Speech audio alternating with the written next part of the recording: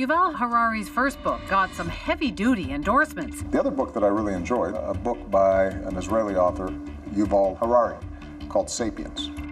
Besides Obama, Bill Gates has blogged about it, and Mark Zuckerberg recommended it for his book club.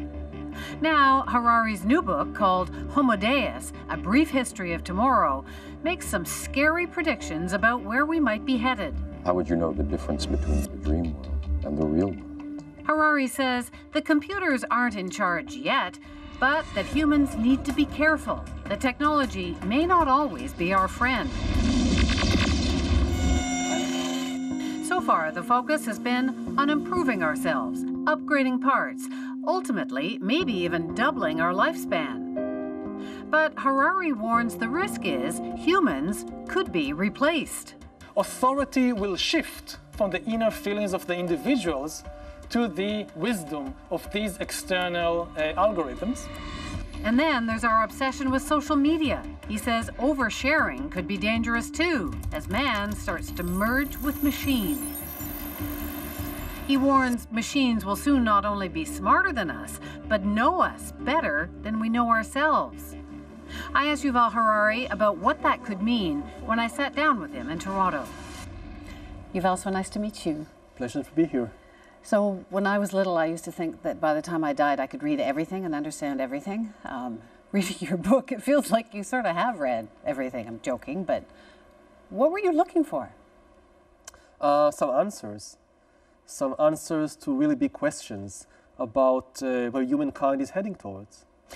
One of your arguments, interesting arguments, is that we operate on a series of false assumptions that violence and famine and war and even terrorism aren't the things that, that, not that we've solved that, but that we've kind of moved beyond that.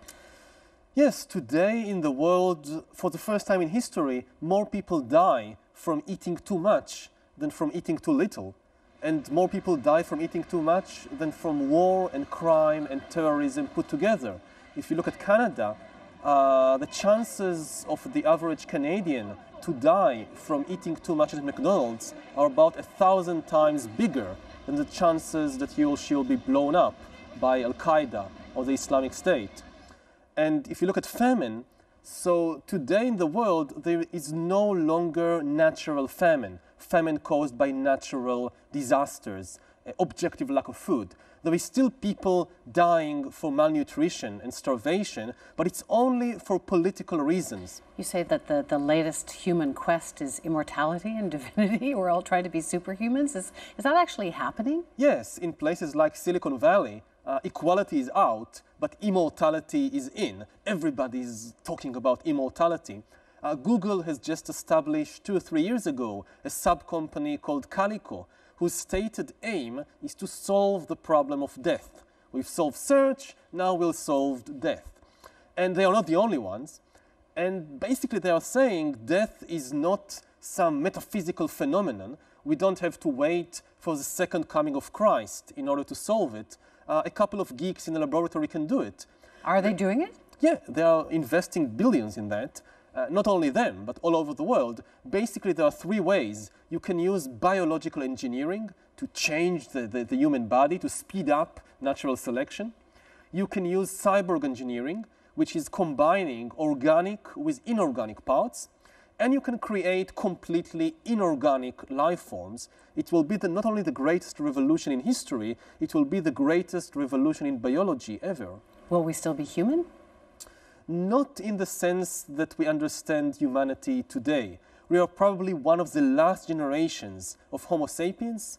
In a century or two, uh, either we will destroy ourselves, which I think is less likely, more likely we'll upgrade ourselves into something which is more different from us than we are different from Neanderthals or from chimpanzees.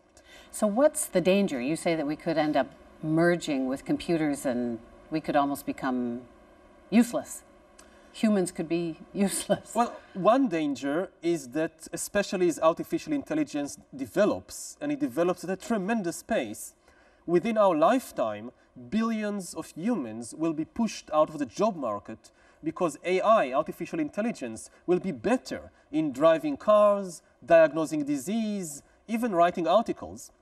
And then just as the Industrial Revolution in the 19th century created the, work, the urban working class, so in the 21st century will create the useless class. Billions of people who are not just unemployed, but unemployable. And this is a kind of political and social problem that we have never encountered before.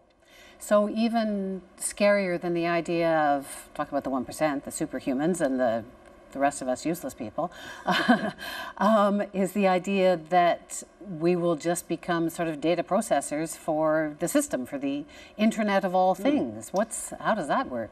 Well, the idea is that once you have enough biometric data about what's happening in your body, well, and we all and wear those, or a lot of people all the wearables that collect, yeah, that collect constantly loads of biometric data about your heartbeat, blood pressure, uh, sugar level, everything, and you combine this with enough computing power, you get external algorithms that understand you better than you understand yourself. And increasingly, and we like to share with Google and Facebook all, all of our opinions all, and all secrets. They, yes. yes. I mean, the most important asset that most people today still have is their data.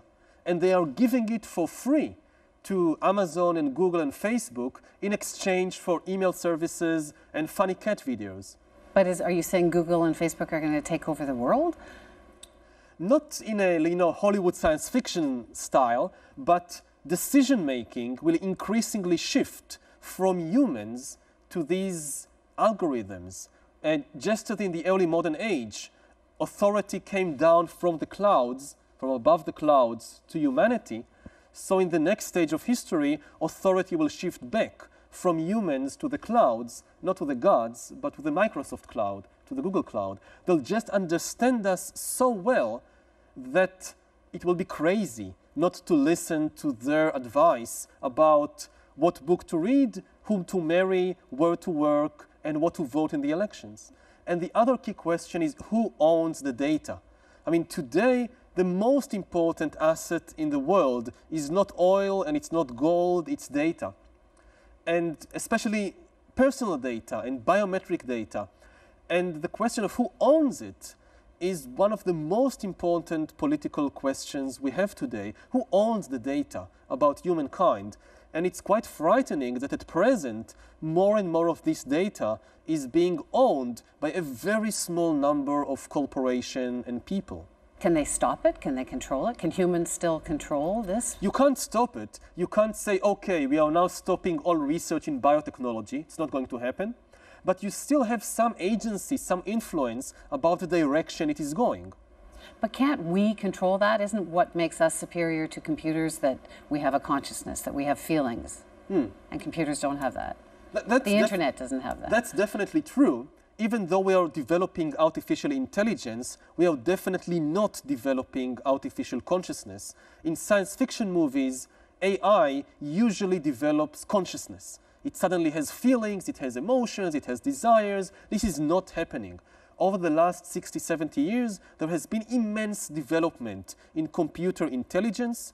There has been exactly zero development in computer consciousness. So then aren't we safe because that's what makes us special? it makes us special, but the problem is that from an economic and military perspective, consciousness isn't important. What the system needs is intelligence. In human beings, intelligence and consciousness go together. You cannot separate them. But what we see now is a decoupling of intelligence from consciousness. And from an economic perspective, for instance, if you think about taxi driver. So what the system needs from a taxi driver is basically intelligence to solve problems on the road. If you can get that without feelings, without consciousness, then you'll sack all the taxi drivers, they'll be left without a job, and you'll just employ AI artificial intelligence. The fact that the computer has no feelings of, it, of its own um, doesn't really matter because you don't really need the feelings of the taxi driver. You just need a taxi to bring you from point A to point B as cheaply and efficiently and safely as possible. We, uh, we think we're morally superior to animals. Mm-hmm. You argue that we should think more about how we treat the chickens in cages, for example. Why? Because there are basically two two arguments that people use to justify the horrendous way in which we treat animals in the meat and dairy and egg industry. One argument is that they don't feel anything. Emotions and feelings are not unique to Homo sapiens. They are common. All mammals, all birds, and probably at least some reptiles and fish have emotions, have feelings, they can suffer. The second argument why we shouldn't care about the emotions of animals is that we are far more intelligent, and intelligence counts for more than feelings and emotions. The danger here is that very soon we'll have on Earth entities which are more intelligent than we are. So if you think that an intelligent entity can treat uh, conscious beings um, in such a way, because they're less intelligent, this is very dangerous for humans in the 21st century because this is how we'll be treated by these super intelligent entities that we are now creating. So we will become a lower life form. In terms of intelligence, yes. It is quite likely that in, I don't know, 50 years, 100 years, Homo sapiens will no longer be the most intelligent being around. There'll be something more intelligent than us on Earth. Should we panic? I think we should. I think it's a very big danger that is facing billions of people today. I mean, people, kids who go to school today, nobody really knows if most of them will have any kind of job when they are 30 or 40. Uh, even if they have jobs, nobody knows what to teach them today, so they will still be relevant in 2050. It's a question we need to address today. Kind of mind blowing. Thank Oh, you. thanks. Yes. So interesting. Yeah, it is.